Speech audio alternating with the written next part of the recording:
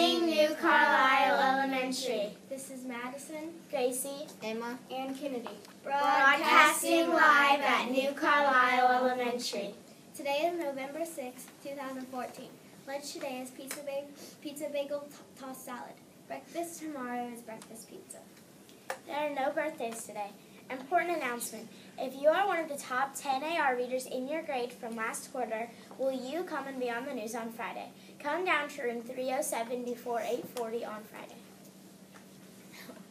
uh, positive. Uh, today's positive behavior runners are red, Kylie C, orange, Wesley B, yellow, Lucy H, green, Isaac 203, blue, Braden, and 201, purple, Daniel G.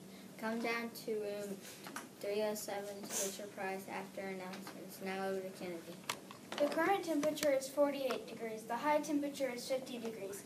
Thank you for joining us this rainy morning. Please stand for the Pledge of Allegiance and the to school.